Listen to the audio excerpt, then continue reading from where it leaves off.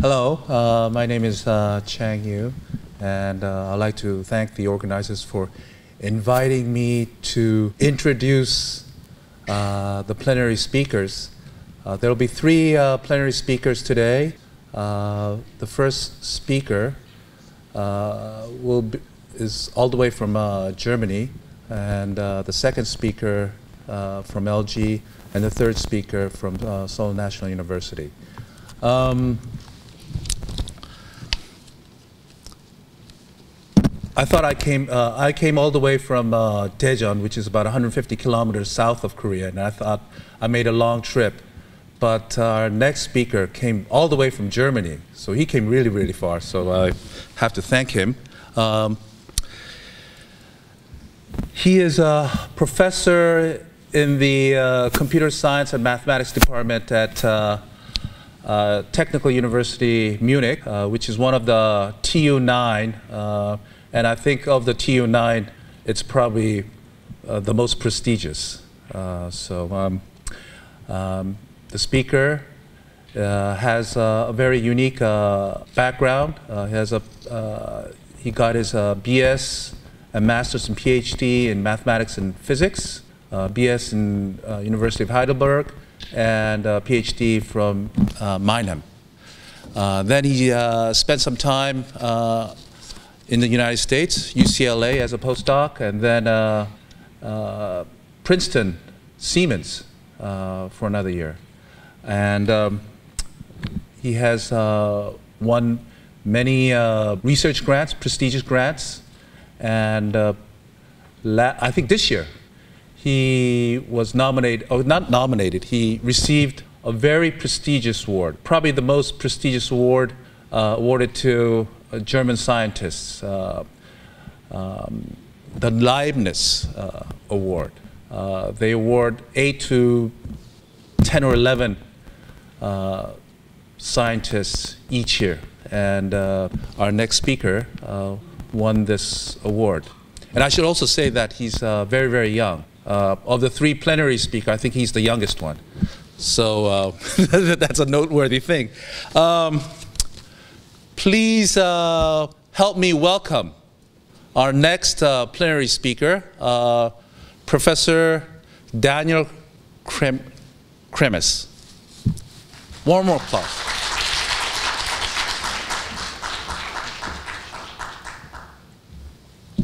Thank you very much for this kind uh, introduction. Uh, I'd like to start by thanking uh, many people, in particular Professor Joonki Paik, for organizing this great event and for reaching out to me to give me the opportunity to tell you a little bit about our research today. The research area I'm working in is called computer vision. I'm sure you've heard of this area. When I started it almost two decades ago, it was a very small niche area, but this is changing rapidly. So not only is the computer vision community growing at a very fast pace, but also when you open the, the newspapers almost every day, I see articles basically about the area that I work in be it self-driving cars, be it smartphone technologies, which all rely on computer vision. And more and more companies are entering this field and are supporting our efforts because there's a lot of uh, things to be done. One of the areas we've worked in for many years is, is the area of driver assistance. To give you one example, we started collaborating, in this case with the company Daimler, uh, about 10 years ago, and you can see it's Daimler. They always put the camera in a way that their logo is in the picture here. So this is a common scenario. You drive down the street and uh, you can have obstacles that come into the driving corridor. And one of the things that you want is you want to understand the world in front of the car and you want to predict what's going to happen. And this is a very challenging setting because it's a very difficult kind of real life scenario and to actually understand from images what, the, what, we, what is happening in the world is the major challenge in computer vision. What we developed are algorithms like the one you see here that can reconstruct the world in 3D in real time and that can recover the motion of objects at the same time. Here, red means moving, green means stationary, so we can extract some information about what's going on in front of the car, as you can see by these virtual fly-throughs. And you can see that there is an object, you can determine how fast it's moving, and that will tell you what's going to happen in the next few seconds. Here, for example, most of the scene is green, there's something red that's moving again, so we can predict there is something there that's going to be coming into our driving corridor in the next few seconds. Meaning we not only can recover the 3D world in front of the camera, but we can even make predictions about how this world evolves over time and about what's going to happen in the next seconds. And as you can imagine, this kind of information is vital because you want to know what's going to happen in order to save lives, to avoid accidents, etc. And this technology uh, is being implemented in the recent uh, editions of Daimler cars for driver assistance and also on the long run for self-driving cars. Here's another example more from a consumer electronics domain. Uh, this is an implementation that my uh, student implemented a work of Li and Mourikis, which allows you to take just a smartphone, in this case I think it was an iPhone, uh, you can walk around our building, this is our computer science building, and you can see on the right side we can track the iPhone at a very high precision in real time. So we can determine from the camera and the inertial sensory information from your smartphone, we can determine in real time where you are in the building. At a level of precision where you can walk around the building for say a kilometer and the error is going to be roughly one meter after one kilometer of distance. So it's in the domain of, of uh, in the area of per mils terms of tracking precision. And so this can be very useful for you know smartphone applications if you want to kind of navigate someone not with Google Maps uh, in in an area where you have GPS, but in an indoor environment like the one we have here. I don't know about you, but for example, for me, it took me quite a while to find this room. If I had an app that could, you know, track me in the building and tell me where to go at any given moment, that would be quite helpful more about consumer electronics. I mean, you are in, working in this area, so I don't need to tell you what's there, what's coming. There's a lot of technology, head-mounted displays for virtual reality by various companies. Also, there are head-mounted displays for augmented and uh, what's called mixed reality. Um, and, and some of the visions that people have in these companies, and I've tried, for example, the HoloLens uh, just two weeks ago, it actually works fairly well. It can project objects into the real world, and you can walk around them and you see them as if they're fixed in space. One of the key challenges to make this whole technology work is that you need to recover the 3D structure of the world in real time and you need to determine the location of your camera or your person or car in real time. And this is one of the challenging problems and I want to show you a little bit where we stand today and where we're going and what's coming. There are several parts about my talk. I will first talk about 3D reconstruction from images. This is a very classical problem that's been studied. We'll see that later for about 100 years now. The problem is something that you're all familiar with. You walk around the world, you see the world in, uh, through your eyes. It's a 3D world, but all you see is two-dimensional projections of that world. And the key challenge is to actually recover that 3D world that we see in these images.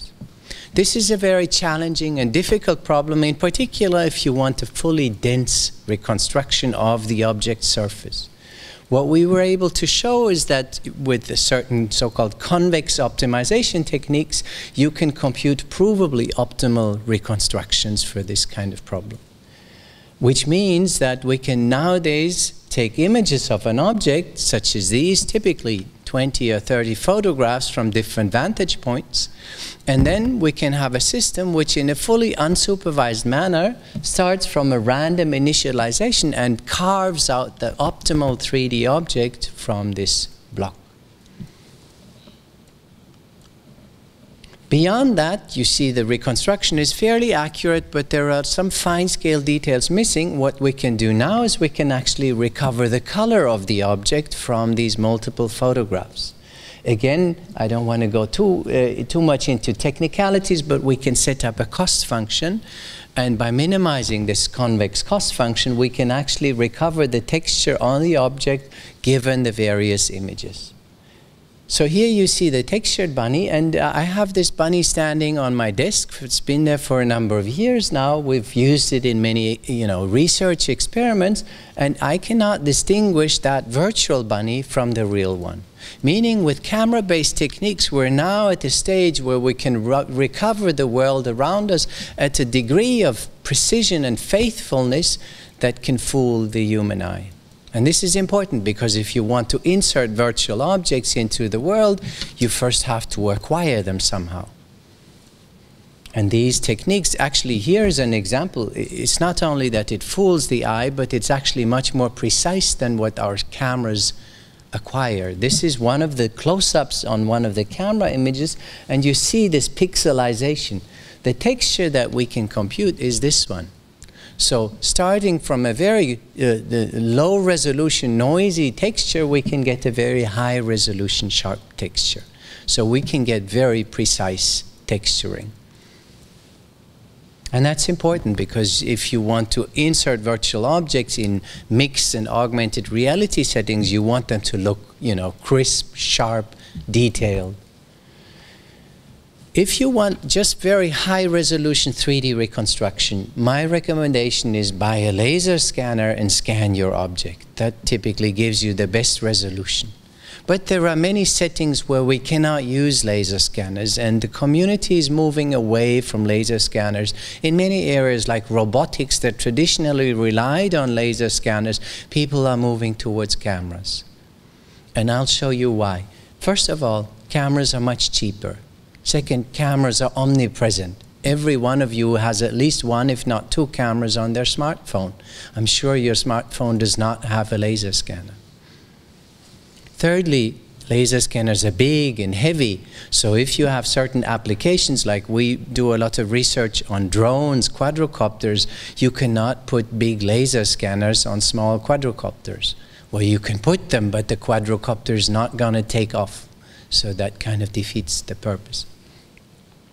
Whereas with camera techniques, we're now at a level of precision where we can reconstruct 3D objects at a very good level of detail, where you see a lot of fine scale structures like the hammer, the sword, are nicely recovered just from images. And here's one thing that you could never do with a laser scanner. We can capture actions over time. We can film them with synchronized cameras and we can recover the action in 3D over time. At a level of precision, note that the entire rope of this rope jumping girl is recovered in the 3D reconstruction, just from cameras.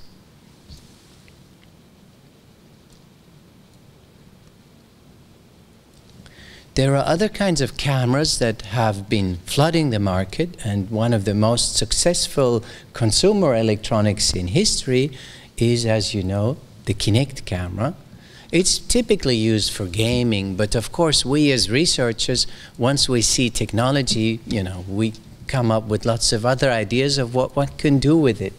Let's say you have a camera that moves around, such a depth sensing camera, and you want to recover the 3D world. One of the challenges you have to determine is what is the motion of the camera, the rigid body motion, rotation, and translation that moves the camera from one image to the next. We can again set up some cost function, minimize this cost function. We can track the camera, and then it doesn't matter whether the camera moves or, as in this setting, the camera is fixed but the object moves. And what we developed here is a real time capable system to scan 3D objects in color. So what you see here is our student Julia. Here's the image data. And once she moves around on that chair, we get, as you can see, in real time, the computer calculates a complete colored 3D model, which is immediately printable. So you can upload it to your favorite 3D printing service and you can get miniaturized versions of yourself, of your friends and family in no time, basically on the click of a button. So this is what I would call 3D photography and this is what's coming. So in other words, you know, if you think about the history of photography, about 100, 150 years ago, they developed this technology.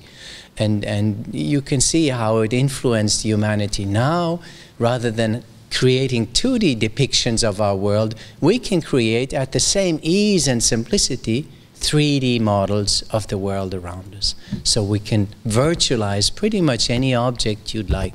Put it in front of the scanner, rotate once, there you go. So we thought, hey, this is great. Let's create a company and commercialize this. Everyone told us there's a huge market, so we did, and you can now actually purchase uh, this software to scan yourself at home. Here are some examples of some of my team members and their 3D models after scanning and printing.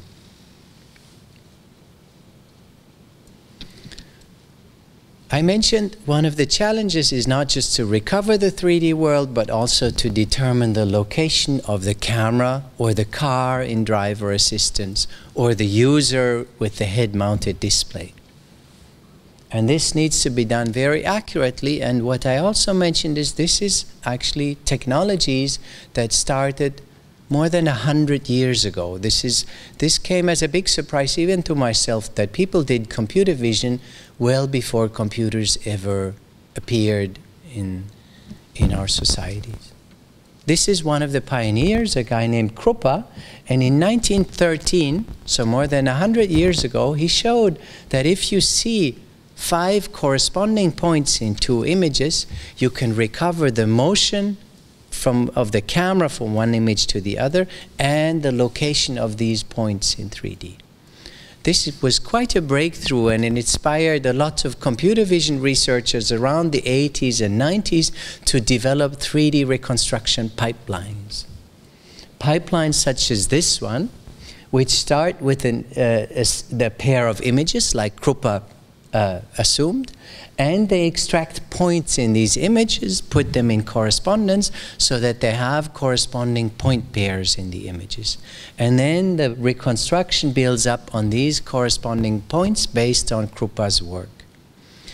Kruppa's work was quite pioneering, but it was also, I would argue, heavily misleading because this is the dominant 3D reconstruction pipeline nowadays. The key point extractions, anyone working in this area will know there is techniques like SIFT and others to extract points.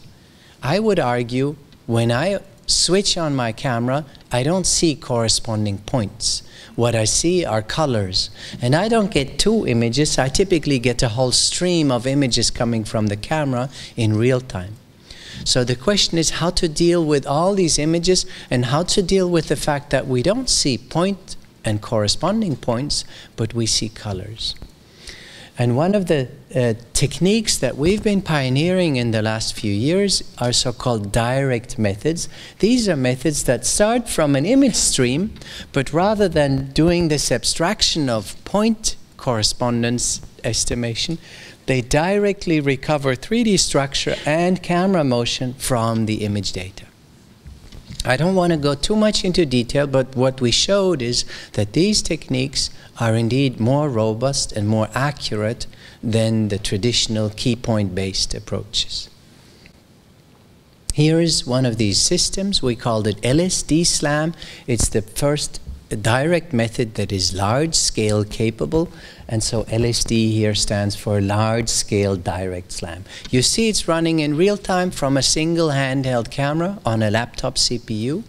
So it's very fast, applicable to real time settings. And as you can see, we can recover fairly large environments just walking around with a single camera and a laptop.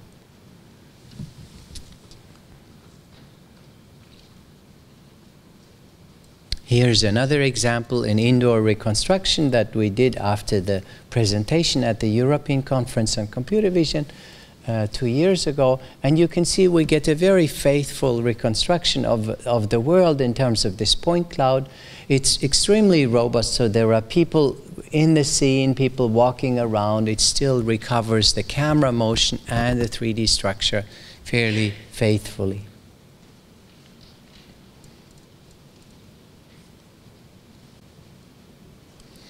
You can use this for certain consumer electronics. This, for example, is a, is, a, is a toy. It's a drone that you can buy for a few hundred euros from the company Parrot. And we can use the onboard camera to localize the drone in real time. And here, real time is critical. If you cannot determine the pose of the drone in real time, it's going to crash into the wall and then it might tell you what the pose was, but by then it's too late, right? So you really need real time for these systems. As you can see, we can fly around, we can recover the whole room that it uh, flies in at a very good level of detail and precision. And recently, we've been able to show that you can use this so-called SLAM technologies to fly the drone autonomously here it is flying autonomously, there is no human involved. You can explore unknown environments, you can do obstacle avoidance, everything in real time on board. This is for the same technology, but in the context of self-driving cars. Here, the data is on the lower left. This is one of two cameras installed in a car driving through the town of Karlsruhe. And as you can see, we can recover the streets in real time on the laptop CPU. I think this is going to be the key core ingredient in self-driving cars. Because for a self-driving car, you need to know where is the car precisely and where is the world. You need to localize yourself in that world. And this does it all, and you can see we can create complete 3D maps of the town in real time on the fly while we're driving around. In other words, we may not actually need map services. We can just put the cameras in the car, and if, if we have many cameras in many cars, we can almost instantly map the whole country. At, as you can see, a very good level of detail and precision, sufficient possibly to do obstacle avoidance, etc.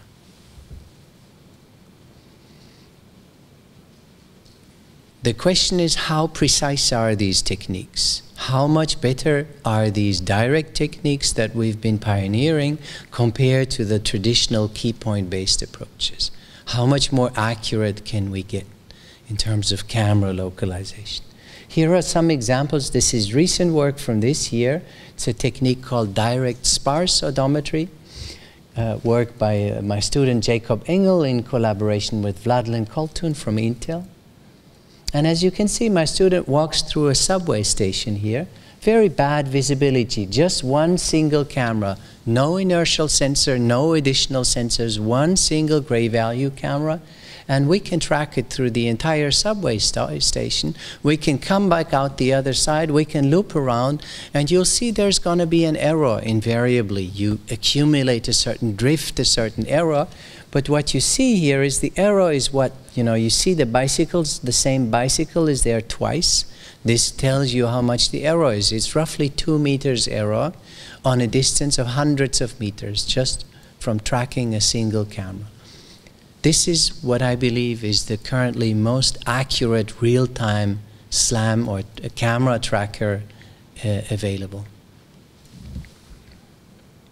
Here's another evaluation. We actually recorded, you know, 50 sequences with hundreds and um, minutes of, of, of, video data and tracked the, the camera very accurately. Here you see we walk down a flight of stairs. Visibility is very bad, lots of reflections, lacking textures, everything, nasty settings.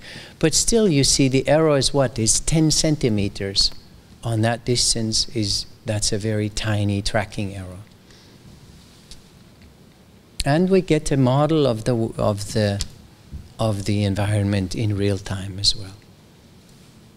In fact, here is a quantitative evaluation to the state-of-the-art technique, which is a technique from Zaragoza, Spain, called Orb Slam, a very popular framework, and to our knowledge, the currently most accurate system. And here you see various curves. The blue curves is the orb slam, the yellow curve is our direct sparse odometry. The dashed curves are if you impose real-time performance. If you allow more computational time than real time, you get more accurate, but you can see that our method, even in real time settings, is much more accurate than the orb slam when it's not even real time settings. What you see here are different errors, and if you want to allow a certain error in the alignment or in the rotation or in the scale drift, uh, then we show how many runs we can do that have an error smaller than this error. Meaning here, for example, uh, whereas Orb Slam at a certain error has maybe 300 runs which are below that error, we have almost 500. So it's almost twice as, as robust and precise as Orb Slam. And why is that? The reason is that we work directly with the data. We don't do a point abstraction, uh, which is a heuristic step in between. We directly get the optimal results from the data. We don't lose anything in the data. And that's why we get more robustness and more precision.